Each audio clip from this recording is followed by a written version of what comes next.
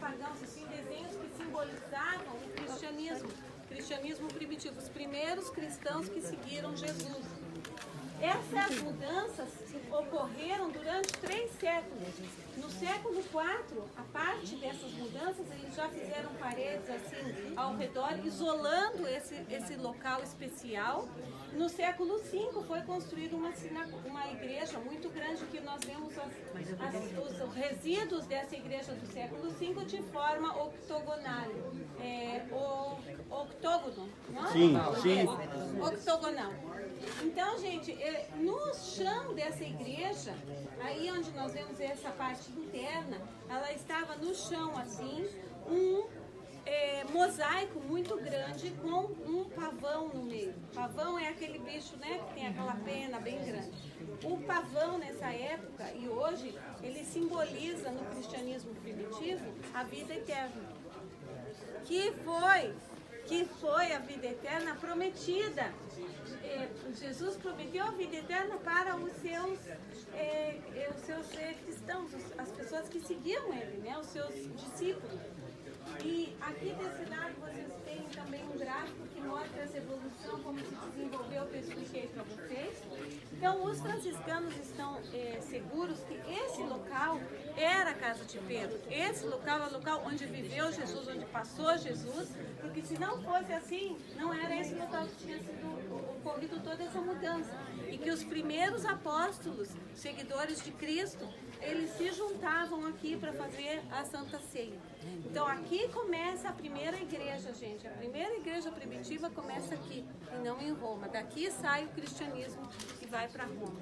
Então aqui era a Domus Iglesia Rishoná, a primeira Domus Iglesia do mundo, a primeira que foi surgiu começa aqui. Legal. Tá? Amém. Filmei. Depois, quem, quem quiser, pode subir na igreja e olhar lá de cima. Tem um vidro no chão da igreja que dá para ver o meio. Simone, pode repetir essa parte pra mim? Pois é, meus amigos, estou aqui com meu amigo Gideão. Gideão, ele está com, tá com sono, já andou bastante aqui na Terra Santa. O Gideão tá doidinho para ir lá no Mar Morto, dar aquele mergulho no Mar Morto, né, Gideão? Né? Ir na piscina, jogar bola.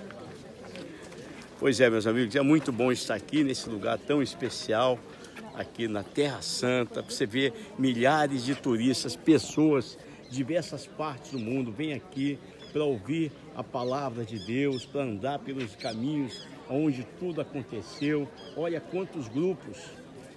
Jerusalém, Israel está completamente lotado. E você aí no Brasil é o nosso convidado. Você é o nosso convidado para embarcar essa grande viagem aqui à Terra Santa. Muitos grupos, como você vê, uma caravana enorme, muitas pessoas, diversas partes do Brasil, aqui conhecendo esses locais tão lindos aqui na Terra Santa.